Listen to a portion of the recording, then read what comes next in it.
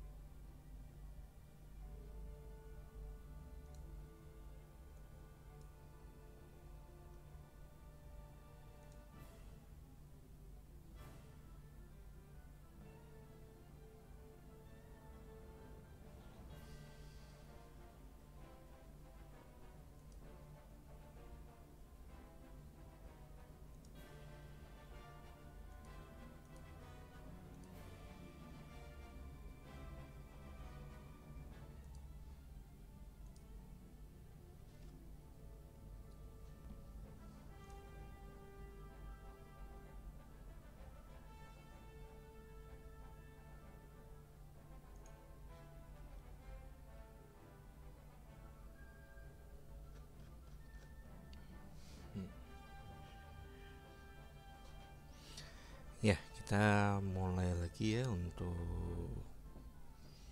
wireless security kemarin kalau nggak minggu kemarin nggak salah mati lampu ya saya itu. Jadi terpotong tengah-tengah ini belajarnya nah, seingat saya itu ini udah sudah hmm, oke sampai sini aja ya Selamat malam dulu ini untuk semuanya untuk kelas TIS 18.2 mata kuliah jaringan komputer 2 atau wireless ya. Nah, ini karena sudah waktunya kuliah kita langsung saja ya. Oke, saya lanjutkan dulu. Ini untuk kemarin sampai channel sudah kita ke mana enkripsi ya ya namanya kita nggak bicara enkripsi yang kriptografi ya tapi enkripsi key-nya enkripsi key ini maksudnya intinya adalah semacam password atau kata sandi atau terkadang mereka sorry terkadang sistem itu bilangnya passphrase ya. Jadi itu hampir sama sebenarnya. Semacam pin lah ya. Passphrase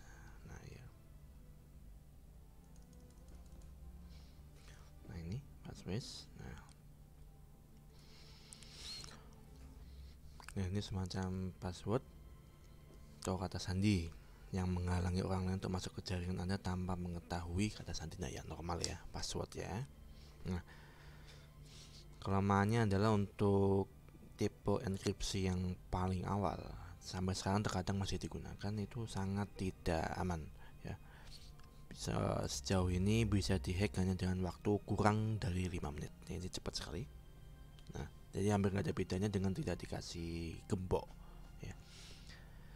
Nah untuk yang enkripsi yang terbaru yang diperuntukkan untuk rumah atau soho itu juga sudah bisa dihack ya. Ya sebenarnya semua bisa dihack ya tapi makin normal makin canggih sistem enkripsinya makin lama sangat lama itunya Oke.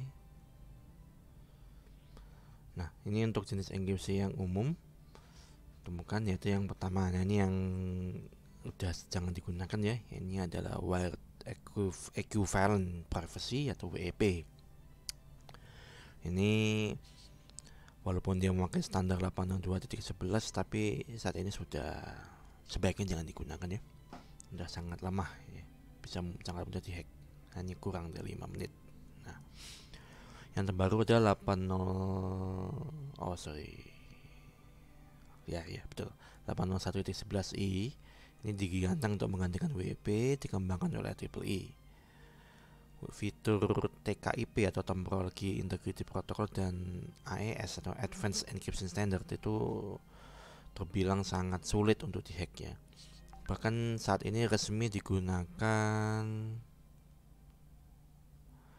untuk pemerintah Amerika Serikat ya. Memang dulu semacam ada semacam lomba ya untuk menggantikan WP ini Nah yang digunakan adalah AS ya. Nah terus yang berikutnya adalah WPA Nah ini biasanya digabungkan dengan AS atau TKIP Ini dikembangkan dari WiFi Alliance dan ini untuk yang generasi awalnya menggunakan TKIP dan generasi yang keduanya menggunakan AES. Nah ini fitur-fiturnya. Ya. Paling bawah makin lemah, makin ke atas makin kuat canggih ya. Umumnya kita cukup menggunakan yang kelas ini aja ya. Yang nomor dua ya paling atas ya. Yang paling atas ini kita membutuhkan autentikasi atau radio server. Nah itu kita membutuhkan server lagi jadi agak sulit. Yang bawah aja jadi nggak perlu radio server atau autentikasi khusus hanya membutuhkan password aja itu udah cukup kuat untuk kelas rumahan ya untuk kelas kantor Soho Soho itu adalah kita mungkin sering dengar istilah Soho ya. Soho itu maksudnya adalah small office, home office ya. Intinya adalah kantor kecil lah ya. Umumnya yang di ruko cuman ukuran misalnya 6 kali 6 meter ya gitu gitulah kelas gitu cukup tapi kalau udah kelasnya seperti Telkom atau mungkin PLN ya jangan pakai yang jangan pakai yang ini ya WPA ini ya pakai yang atas ini. Karena kelasnya sudah enterprise atau perusahaan multinasional ya. Itu beda levelnya. Nah, nah untuk memperkuat keamanan jaringan dari kabel atau wireless itu beberapa parameter yang digunakan tuh adalah yang pertama jangan membiarkan nama standar seperti Linksys di, di link Cisco ya jangan. Kenapa? Karena setiap merek itu pasti ada password default atau password bawaan pabrik ya. Jadi jangan kita menyebarkan informasi keluar bahwa kita menggunakan access point atau router wireless router merek Linksys atau merek D-Link atau merek Cisco atau merek TP-Link ya jangan disebut ya. Tuh RAM itu yang pertama itu itu dulu. Terus yang kedua gunakan nama SSD yang berbeda dari yang lain yang normal tapi tidak mengundang orang lain untuk menghacknya ya. Jadi jangan bil SSD-nya jangan ditulis misalnya misalnya nih ya kantor PLN nah jangan ditulis seperti ini SSD-nya itu mengundang dihack gitu kalian ya atau misalnya divisi keuangan Telkom. Nah, iya jangan ditulis seperti ini, nggak boleh. Tulis saja misalnya nama produk misalnya Tel As misalnya. Nah, gitu atau misalnya Oredo. Nah, gitu-gini aja ya. Nggak jelas itu. Ya, jangan jangan jelas, jangan seperti ini. Ini terlalu mengundang maling masuk tentu daripada menggunakan SSD lebih baik emang SSD-nya dimatikan ini biasanya digunakan untuk kantor-kantor yang sudah banyak pegawainya ya nah, sehingga cara mendeteksinya tuh hanya melalui frekuensi sinyal saja tapi SSD-nya nggak ketahuan ya. Kalau SSD-nya tidak diketahui ya kita nggak bisa connect. Normal ya harus satu paket dengan password. Terus gunakan channel yang sepi. Nah tapi ini biasanya otomatis ini ya. Digunakan oleh router ini biasanya otomatis ini channel ini. Jadi kita nggak terlalu mikir yang ini. Nah untuk enkripsinya gunakan yang paling kuat yang ada di alat tersebut umumnya zaman sekarang tuh udah bisa menggunakan WPA 2 ya WPA versi 2 gunakan itu aja dengan enkripsinya sorry dengan kriptografinya adalah AES ya nah, untuk penggunaan passpressnya atau passwordnya itu gunakan kata sandi minimal 8 karakter terdiri dari huruf besar, huruf kecil dan angka atau minimal. Kalau perlu tambahin simbol ya. Ya ini udah standar tapi yang penting itu adalah ini. Satu, dua, tiga, dan lima. Nah ya, itu yang penting. Nah udah latihan ya, oke kita coba dulu. Oke. Ini adalah emulator untuk router wireless router merek TP-Link seri saya berapa ini? 8 WR841N kalau nggak salah ya betul. Nah, WR841N N atau ND itu produknya seperti ini. Ya. Ini produknya seperti ini ya. Eh mana ini? Nah. Duh, lemot. Nah, ini produknya ya. Ini akhirnya murah pakai sekali kok satu seribu cuman nih untuk alat yang fungsinya banyak sekali ini sangat murah sih.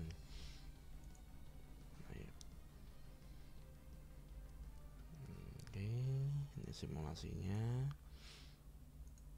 Nah kita lihat. Ini ada banyak menu di kiri ya normal. Kalau kalian nggak tahu tuh nggak usah khawatir. Kita lihat jangan bahas satu-satu dulu.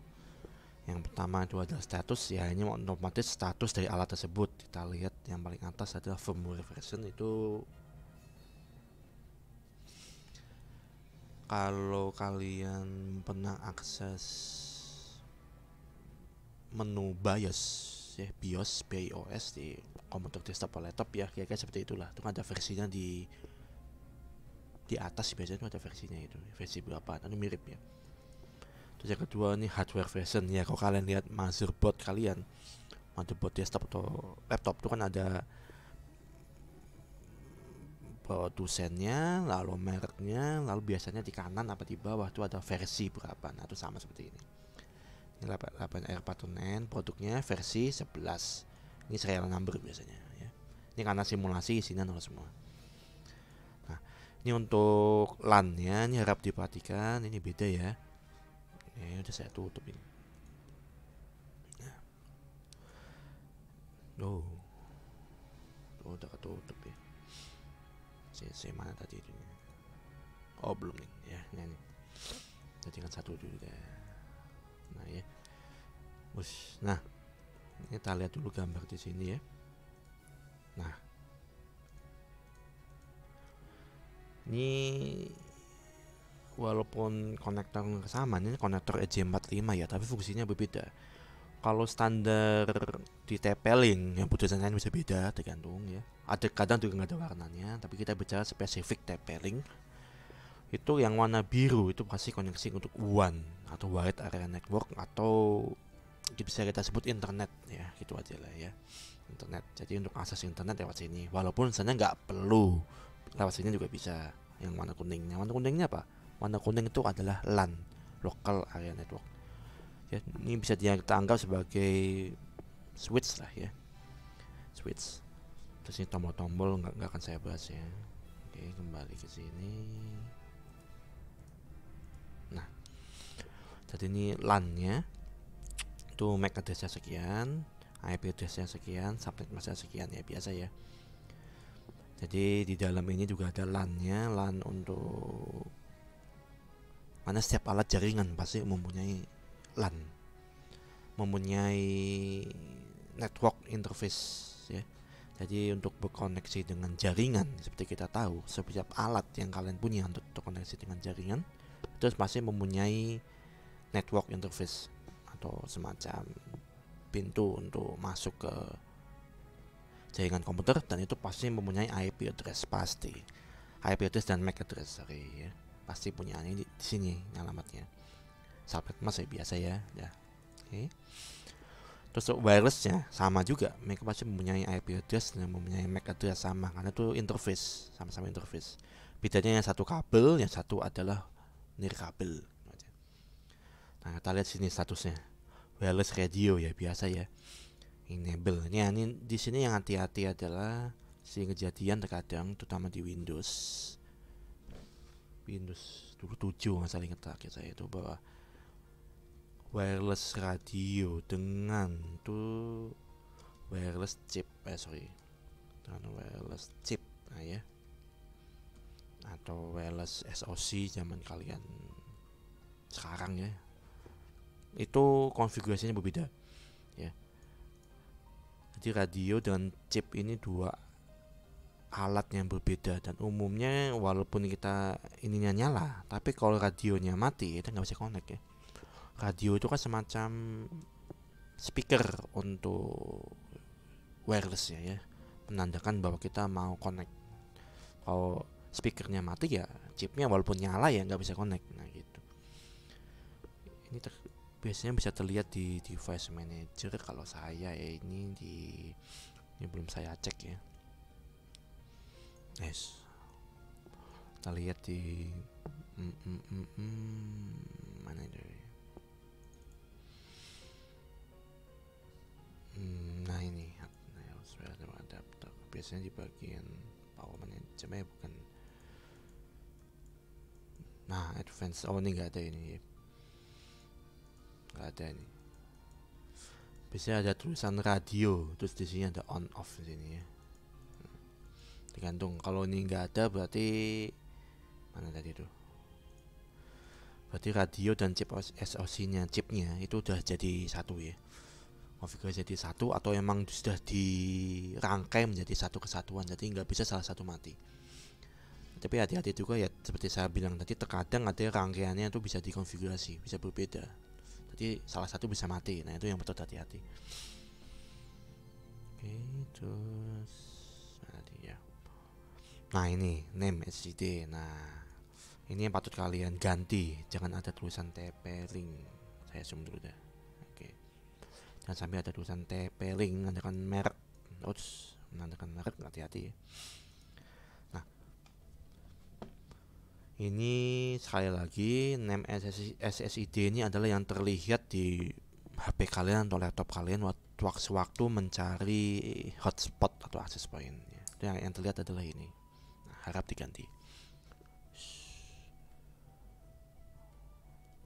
Nah, modenya, nah ini mode ini maksudnya adalah kalian untuk wirelessnya ini beroperasi di mode yang mana? Ini adalah 802.11 seri BGN. Kalau mix berarti ini auto, ya. Mix ini auto artinya akan memilih yang terbaik yang saat itu terus channel width ah, ini otomatis sesuai tadi di PPT mana PPT nya oh udah saya matiin ya eh kayaknya ada deh. Nah ini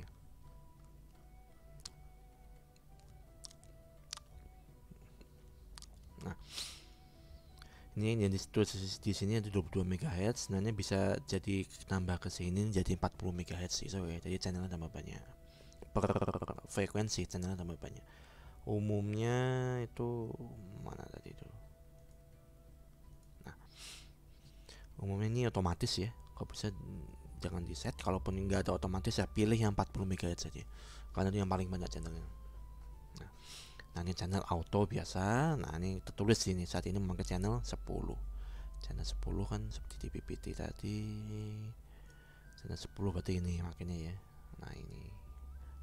Wah ya. Diagram yang ini. Kalau bisa pakai yang mana merah. 1 6 11 atau 14 tapi jarang 14 biasanya cuma 3 1 6 11 kalau bisa. Itu yang dijamin bebas interferensi ya.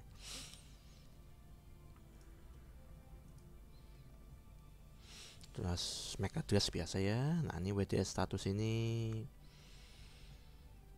untuk bridging ya. Ini jadi nggak akan saya bahas dulu ya. Ini bridging soalnya itu membutuhkan dua alat seperti ini. Jadi wirelessnya itu bisa saling nyambung. Jadi TP-Link yang TR8041N ini kalau kita punya dua kita bisa menyambungkan dua alat tersebut dalam satu jaringan dengan menggunakan media dari kabel seperti kalian connect ke laptop ke laptop tidak menggunakan access point atau router mode ad hoc. Nah, seperti itu. Apa tuh pak mode ad hoc nah dibaca lagi ya. Di Komdat itu ada tuh PPT-nya nah one nah ini one ini yang tadi di sini ya. Ini punya IP address sendiri juga mana nah itu. Terus ini karena tidak connect ya kosong nih tapi kalau connect ini akan ada IP address ini. Dan kalau nggak ada kabelnya ini ada ini unplugged ya. Saya nggak terlalu penting-penting banget sih. Umumnya kalau saya sih one ini jarang dipakai. Ini kan zaman dulu banget ya sebenarnya ini fitur one ini. Jadi kok zaman sekarang saya lebih suka nyolok ke sini sih jadi fitur routingnya ke internet saya tidak memakai ini tidak memakai fitur routing di alat ini ya. Dia saya pakai hanya fitur switchingnya aja switchnya yang saya pakai atau fitur access pointnya kalau zaman dulu emang karena router masih mahal jadi emang dipakai yang ini. Misalnya udah sangat murah ya terlalu murah malah sebenarnya. Nah terus nah ada traffic biasa ya yang lewat di alat tersebut untuk bytes dan paketnya baik diterima maupun mengirim ya. Nah, sistem uptime ya sudah nyala berapa lama biasa. Oke terus yang berikutnya quick setup. Nah ini bisa apa enggak ini? Next. Oh bisa ya. Ini butuh internet ya ini. Jadi nggak terlalu ini. Quick setup ini sebenarnya untuk mengatur ini.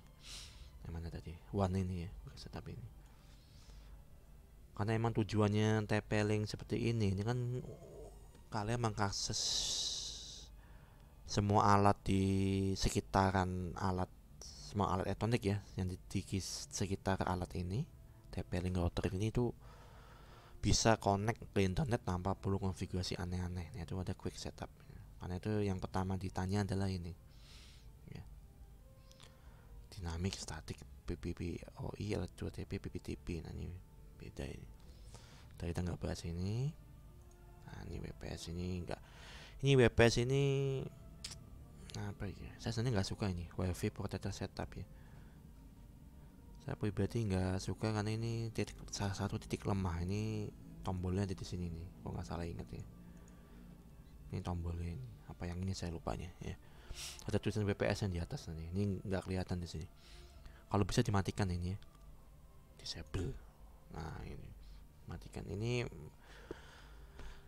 bisa membuka pintu orang ngehack karena dia basisnya hanya pin ini aja.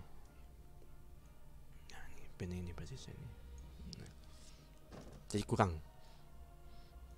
Nggak bisa diatur pinnya juga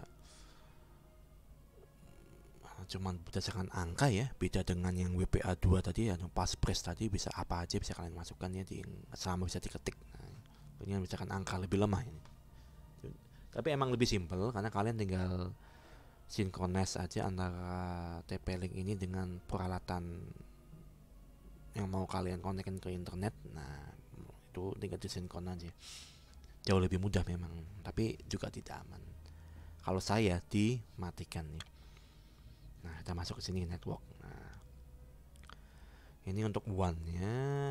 Ini biasanya kalau kalian memakai ISP seperti IndiHome atau Bisnet atau Rocket atau Fastnet ya, itu makanya dynamic IP. Static IP ini jarang kecuali kalian emang menyewa IP address khusus angkanya spesifik itu static IP ini jangan dipakai ini ya. Biasanya dua ini aja. IP address ini dapat dari ISP nya ya dapat dari IndiHome atau Bisnet dapat ini otomatis ini ini nggak usah diatur ini semua otomatis ya. ya ini diganti biasa ya oke ini nanti nggak akan terlihat di wireless di alat kalian untuk mencari hotspot ya ini nggak akan terlihatnya terlihatnya di sisi ISP nya di sisi IndiHome-nya atau Bisnet-nya akan terlihat yang connect itu namanya apa. Nah, ini hostname ini maksudnya. Okay, Maclon ini enggak ya. Enggak akan saya bahas. Terus LAN. Nah, ini biasa ya. IP address-nya berapa untuk LAN-nya alat ini. LAN ya. bukan wireless beda IP addressnya LAN ini 4 biji ini ya ini standar aja biasanya sih saya biasanya pakai 01 apa 11 gitu aja oke nah ini wireless nah, nah ini SSID nya diganti ya nah kan tuh masuk kalau tuh SSID diganti jangan menandakan jangan menunjukkan ini adalah produk tertentu. Jadi region ya ini sebisa mungkin yang benar ya. Ada Indonesia nggak ini? Ada ya sebisa mungkin yang benar. Karena ini nanti berpengaruh terhadap channel. Channel yang bisa dipakai yang mana saja. Modenya yang paling bagus ya, ya yang tulisannya paling banyak BGN mix ya. Channel width nah 40 kalau bisa kalau ada auto pilih auto ya. Channel auto aja jangan dipilih manual. Soalnya kalian yakin channel itu bersih auto aja. Nah ini ini bisa dimatikan ya suatu radio ya. alatnya nyala chipnya nyala tapi radionya mati ya. Dia tidak memancarkan sinyal ya. Lihat-lihat. Nah ini kalau mau, mau mematikan SSID yang saya bilang tadi di PPT saya salah satu mana itu? Nah ini ya. Lebih baik apabila SSID-nya dimatikan ya. Di, eh salah. Ini dimatikan. Nah ini dimatikan kalau bisa. Tapi biasanya kalau cuma untuk rumahan nyalain aja nggak apa-apa ya untuk rumah. Ini biasanya untuk yang perusahaan-perusahaan besar ya. nah ini WTS bridging ini saya nggak bisa mensimulasikan karena membutuhkan dua alat ya. dua alat fisik harus kelihatan bisa ini, ini. connect nah ini jangan disable security ya ini keamanan. Jangan dimatikan. Disable ya jangan tuh saya masalah ya. Nah, nah ini pilih yang personal jangan yang enterprise. Jangan juga yang web ya jangan dipilih web ini. Pilih yang WPA atau WPA 2 personal ya untuk pribadi. Kalau enterprise kalian membutuhkan ini radio server. Ini server sendiri ini komputer sendiri. Kalau kalian nggak punya komputer radio server berarti kalian nggak bisa memakai fitur ini ini aja. Saya bisa pakai ini sih. Versi PSK ya WPA 2 jangan otomatis ini spesifik. Enkripsinya AES nah ini wireless password ini adalah passphrase tadi. Nah mana tadi? Nah ini passphrase sama ya. Standar ini. Nggak usah diisi. Udah tinggal di save. Oke. Okay. Mac filtering ini kalau kalian ingin memblokir suatu alat yang untuk memblokir suatu alat agar tidak bisa connect ke jaringan ini. Nah, bisa dimasukkan di sini. Semacam blacklist ya. Blacklist daftar hitam. Jadi yang nggak boleh yang tertulis di sini nggak bisa connect. ya. Advance. Nah ini nggak perlu di ini ya jangan diubah-ubah ini. Ini standar soalnya. Oke statistik. Nah, ini biasa. Yang connect berapa? Nanti di sini ada tertulis nih namanya siapa IP address berapa MAC address berapa. Nah, tulis ini karena nggak ada yang connect ya nol. Nah guest network ini jangan diutak atik ya ini. Guest network ini umumnya digunakan seperti kalau kalian di hotel. Kalau kalian di hotel kan bisa connect ke access point. Nah itu guest networking. Nah, tapi ya karena itu terbatas ya access time yang bisa diatur di sini. Nah, terbatas dengan berapa menit biasanya. Gratisannya berapa menit itu internetnya. Oke okay terus DHCP nah ini biasa ya DHCP itu adalah Dynamic Host Configuration Protocol Dynamic Host Configuration Protocol itu intinya adalah kalian otomatis otomatis membuat untuk otomatis memberikan konfigurasi jaringan kepada alat yang sudah connect ya. Yang pertama utama adalah IP address sama gateway dan DNS yang pertama. Oke client list ya biasa yang connect siapa aja ini kalau kalian ingin IP addressnya di booking dulu? Monggo silakan. Add new aja. Nah. Nah ini saya nggak akan bahas ini ya. Ini udah agak ribet ya. Ini saat apa mata kuliah sendiri ini gini, ini ya. routing saya masuknya. Java forwarding masuk routing. Nah fast routing kalau kalian ingin konekin misalnya CCTV atau komputer kalian bisa connect ke komputer kantor dengan melalui VPN misalnya nah pakai ini peraturan ini. Tapi saya nggak akan bahas ini. Nah ini yang penting sistem tools bagian time setting ini yang diisi yang bener ya.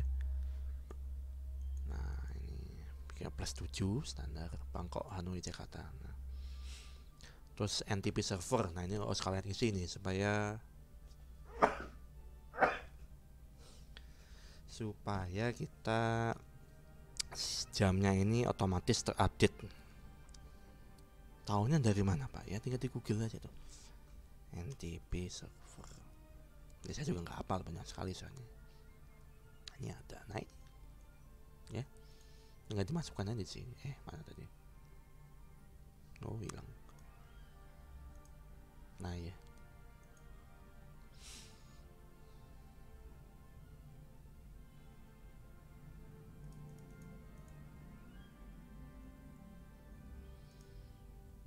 untuk yang ini boleh monggo silakan. Banyak ya umumnya router itu tidak ada baterai untuk menjaga jamnya ya. Beda dengan laptop atau komputer kalian atau HP kalian tuh kan ada baterainya semua sehingga jamnya sama terus. Kalau router itu begitu kalian cabut listriknya umumnya ya nggak semuanya itu akan jamnya akan kembali ke bawaan pabrik umumnya tahun 70 jam 12 siang ya. Jadi bubar semua jamnya. Nah, itu dibutuhkan NTP server nanti bisa walaupun kalian misalnya cabut kabel adaptor begitu connect lagi routernya dia akan ke internet dan mengecek NTP server otomatis ini akan terkonfigurasi sendiri ya jam-jamnya ini. Oke. Okay. terus diagnostik nggak penting ini ping biasa ya nggak terlalu ini. Nah ini. Ini yang penting password tuh di depan. Nah, ini harap diganti. Jangan dibiarkan. Biasanya suka dibiarkan itu ya. harap di, harus diganti ini. Sistem ini terlihat kalau dia menghack ini. Tapi biasanya kalau kalian cuman pengguna rumahan ya nggak terlalu ini ya. Siapa sih mau hack kecuali kalian emang di kantor umumnya itu banyak itu yang menghack ya. terutama kalau kalian buka port PPTP ya poin-poin tunnel protokol itu umumnya suka di orang suka mau bobol. Kelihatan. Kelihatan ada tulisannya jelas di sini. Fail fail fail gitu biasanya. User user user apa user test password test fail gitu nanti. Biasanya begitu. Oke kayaknya udah semua ya. Tapi kalau ini kan cuma simulasi ya. Kalau untuk yang benerannya mau nggak mau kalian harus coba sendiri ya biasanya saya kalau di lab 605 itu ada barangnya kan ya itu, bisa kalian coba. Tapi kan kita masa pandemi ini jadi nggak mungkin. Itu nanti kalian akan menemukan masalah-masalah yang tidak akan saya bahas di sini. Eh yang tidak akan kelihatan kalau kita mau memakai simulasi. Seperti misalnya nggak bisa connect nggak bisa masuk ke ini. Ini kan web config nggak bisa masuk ke sini. Nah itu gimana cara risetnya. Nah itu beda sendiri. Setiap alat ini beda-beda cara risetnya ya. Umumnya ada tombol di sini ini tombol mana jelas ini juga nih tombol ditekan tahan kira-kira ya 10 detik sampai 30 detik ya digantung. Alatnya beda-beda. Harus baca buku manual ya. umumnya sih 10 detik. Dalam posisi nyala ya. Tekan terus nanti lampunya nyala semua. Lampu yang kelihatan di alat tersebut nyala semua nah itu sudah di reset kembali ke standar pabrik. Ya. tapi belum tentu ya. Tergantung alatnya saya lagi. Oke. Saya rasa sampai sini dulu ya. Ini sudah satu jam ini. Saya absen dulu deh. Siapa tadi Diva Andika sudah. Alif Budi sudah. Alif Aman oh Alif Aman Muhammad Khairul Anam. Nah, Mupit Mupit. Mupit. Rizky Setiawan. Oke tadi siapa ya. dia kayaknya ada yang WA saya nih sih sih. Firma Billy yo guys masukin dah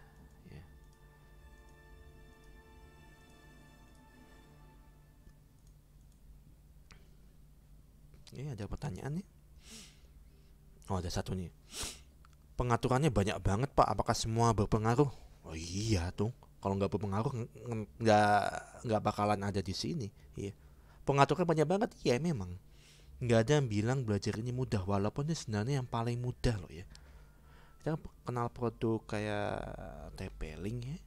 TP-Link yang tadi saya bahas lalu D-Link ya ada juga D-Link oh images dah. Nah D-Link TP-Link ya Netgear. Nah terus apa lagi tuh? Yang umumnya ya uh, Linksys. Nah Linksys oh, misalnya tenda. Ini kayak ngetren di Semarang nih tenda. Oh kok tenda ini kan salah ini apa tuh namanya? Network dah. Nah, nah ya seperti ini.